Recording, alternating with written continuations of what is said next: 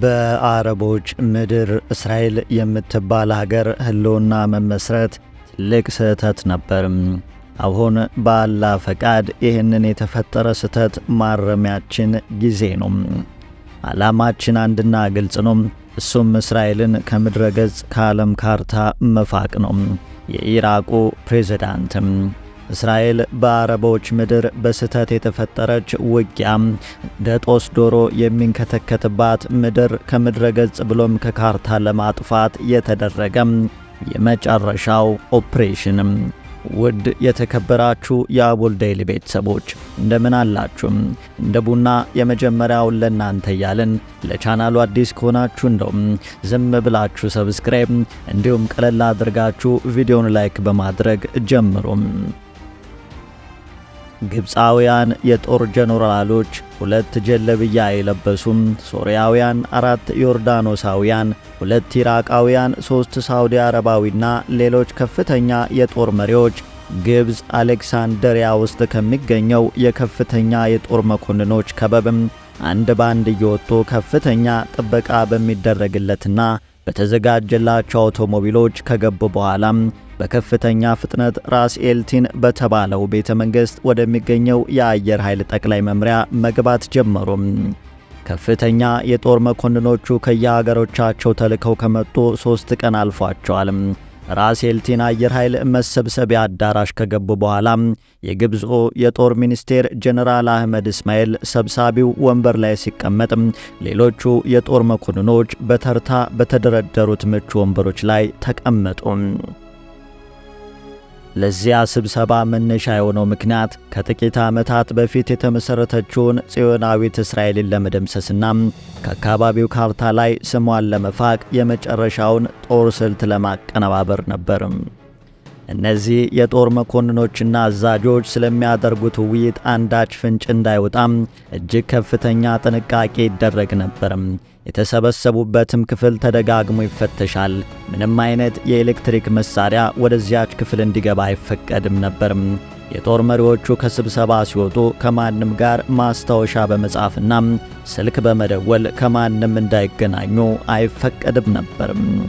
በመጨረሻ የጦር መኮንኖቹ በሁሉም ጉዳዮች ላይ ተስማምተው ያልተስማሙባቸውን ሁለት ነጥቦችን ለአገሮቻቸው ፕሬዝዳንቶችና መሪዎች ማቅረብ ነበረባቸው። ሁለቱ ያልተወሰኑት ነጥቦች በእስራኤል ላይ ጦርነቱ የሚጀመርበት ቀንና ሰዓት ብቻ ናቸው። እስራኤላውያንን ከናዚ ማጎሪያ ካምፖች እንደምንም ተራርፈው ወደ ቅድስቲቱ ወደሚሏት አገራቸው ገብተው መንግሥታቸውን ከመሠረቱ ገና ብዙ ጊዜ አልሆናቸውም። ቢሆንም እስራኤሎች ኪቡትዝ በሚባለው የነፃ አገልግሎት አደረጃጀታቸው ሴቶችና ወንዶች ያሉበትን በጣም ጠንካራ የሚባለውን ጦር ኃይላቸውንም Israel Defense Force IDF እና ሞሳድ የሚሉትን የስለላ ድርጅታቸውን ተማምነዋል። እስራኤሎች ከስለላ መረጃዎቻቸውና በአረቦች ሚዲያ ከሚነዛው ፕሮፓጋንዳ በመነሳት ከበድ ያለ ጦርነት እንደሚጠብቃቸው ተገንዝበው በንቃት እየተከታተሉ ናቸው። ቀስ በቀስ የጦርነቱ ነጋሪት እየጨመረ ሲመጣ እስራኤል ሁሉም የአረብ አገራት እንደተሰለፉባት የስለላ መረጃዎቿ ይጠቁማሉ። የእስራኤል የጦር ኃይል በቁጥሩ በጣም ትንሽ ቢሆንም ቢያንስ አንድ የእስራኤል ወታደር ከአስር በላይ የአረብ ወታደሮችን እንዲቋቋም አድርጎም ስልጠናና ግዳጅ ወስዷል። በመጨረሻ ኢራቅ፣ ጆርዳን፣ ሶሪያ፣ ግብፅ፣ ሳውዲ አረቢያ፣ ኩዌት፣ ኳታርና የአረብ ሊግ በትብብር የመሰረቱት ከግማሽ ሚሊዮን በላይ የአረቦች ጦር እስራኤልን ከምድረ ገጽ ለማጥፋት እንደተዘጋጀም እርግጥ ነው። የግብፁ ፕሬዝዳንት ለሕዝቡም ወላሂ እመኑኝ በሦስት ቀን ውስጥ እስራኤል የምትባል አገር ወደ አለመኖር ቀይራታለሁ በማለት ለሕዝቡ ከፎከረ በኋላ የግብፅ ጦር ሲናይ በረሃን አቋርጦ እስራኤል ድንበር ላይ ምሽጉን አጠናክሮ እንዲሰፍር ትዕዛዝ ሰጠም። ግብፅ ሌላ እርምጃ ወሰደችም።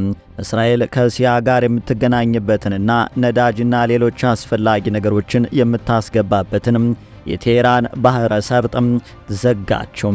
የቴህራን የባህር ሰርጥ በ1957 በተባበሩት መንግስታት ድርጅት እስራኤል ትጠቀምበት ዘንድ የተፈቀደላት በመሆኑም ግብፅ በዚህ ድርጊቷ ዓለም አቀፍ ሕግን ጣሰችም።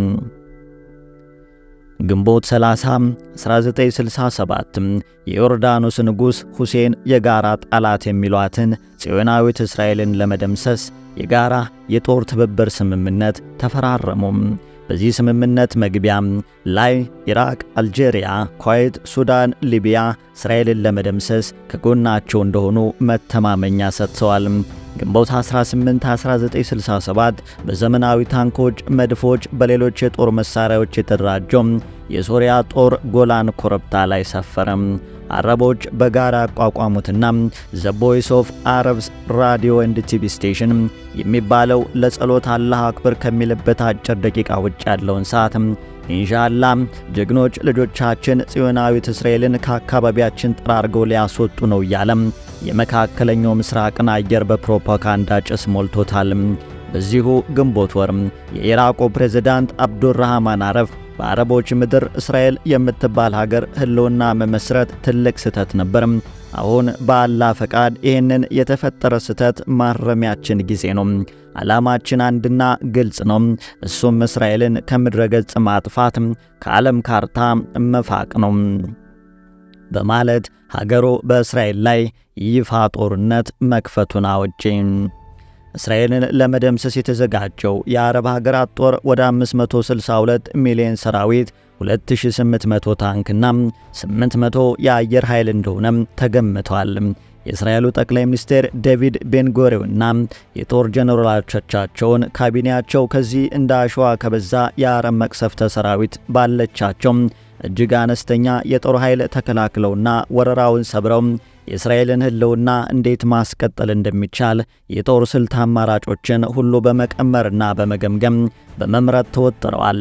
በመጨረሻም እጅግ የተራቀቀውን ከድንቅ የአእምሮ ውጤት የፈለቀውን የጦርነት ስልት ተግባራዊ ለማድረግ ወሰኑ።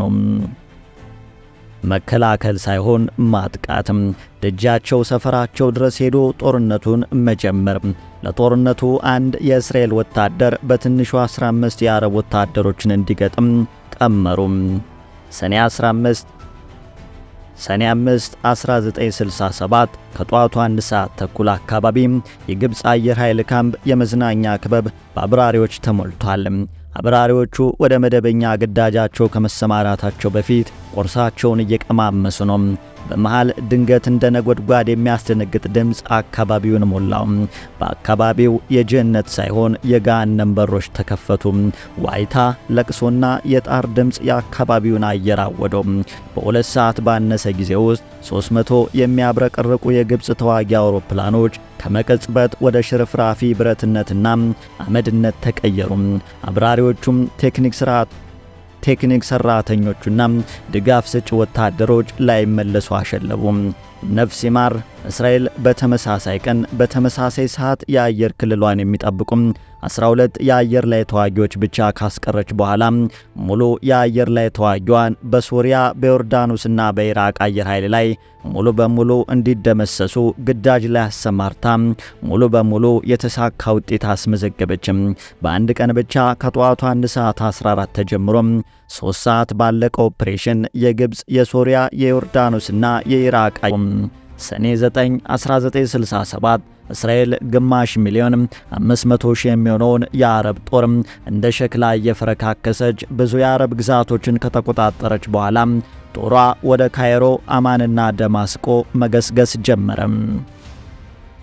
ጁን 10 1967 የግብፁ ፕሬዝዳንት ገማል አብዱል ናስር ዮርዳኖሱ ንጉሥ ሁሴንና ሁሉም የአረብ መሪዎች እጅግ ተስፋ አስቆራጭና አስፈሪ ዜና ደረሳቸው። የእስራኤል ጦር ወደ ዋና ከተሞቹ እየገሰገሰ እንደሆነ የሚገልጽ ወዲያውኑ በድንጋጤ የተዋጡት የአረብ መሪዎች ለአሜሪካ ፕሬዝዳንት ጆንሰን የአድኑን ተማጽኖ ስልክ መደወል ጀመሩ።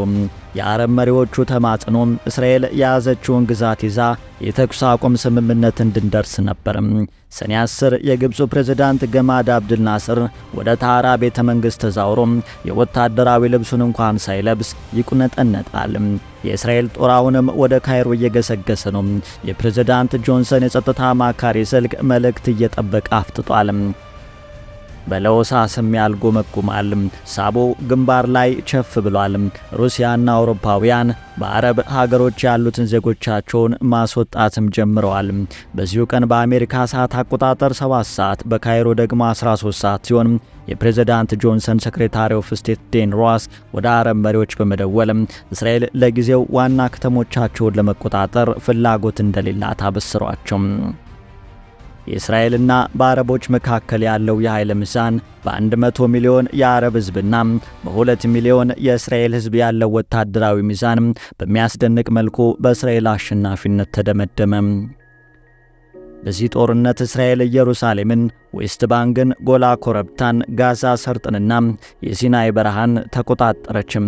በጠቅላላ እስራኤል ከዘጠኝ በላይ የአረብ ሀገሮች የተውጣጣውን ግማሽ ሚሊዮን የአረብ ጦር በስድስት ቀን ስትደመስስ በአጠቃላይ 777 የሞቱና 2586 የቆሰሉ ወታደሮቿን በየዓመቱም ትዘክራለች።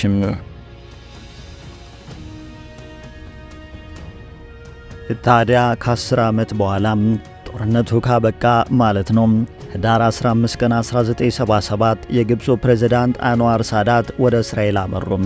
አረብ አገሮች የሳዳትን ጉብኝት ተቃውሟቸውን አሰሙም።